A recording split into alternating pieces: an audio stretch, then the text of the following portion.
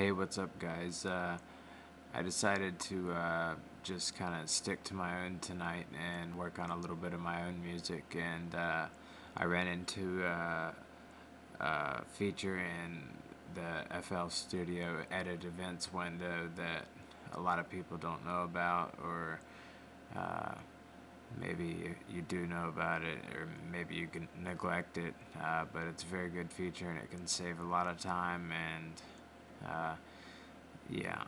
So let's get started and uh, I'll show you what I did. You can see my LFO right here. Uh, I made an LFO with the uh, with the tool and the edit events. Um, if I could there, there here it is. Okay so basically let me get on a new channel.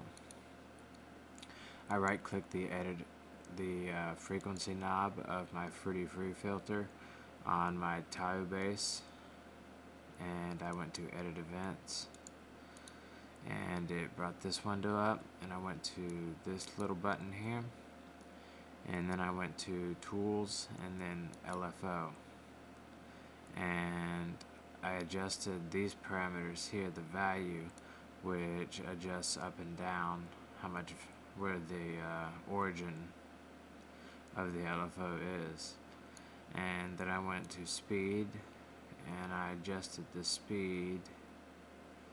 Uh, not that bad. No no.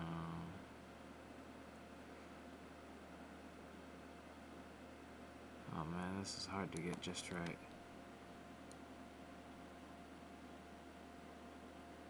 Okay that's good enough. That's and the phase moves it this way and you get the picture on the face there.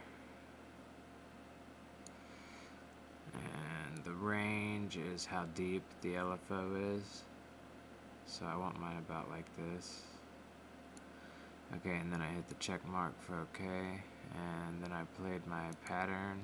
And okay, you gotta make sure you play the pattern that you put the edit events on. See, like, as you can see, uh, hold on, if I go Okay, the pattern 7 is selected and this is the tutorial uh, LFO pattern. And uh, if I right click you can see there's a little symbol right next to edit events. That means that we edited the events on this pattern and if I click in here it'll even put the pattern in there so I can take it away down here. See it says tutorial right there. It's our LFO pattern. Now let's hear what my bass sounds like with the LFO pattern in place that we just uh, put. Uh, I would like to explain the bass to you but I want to keep this one short guys. Sorry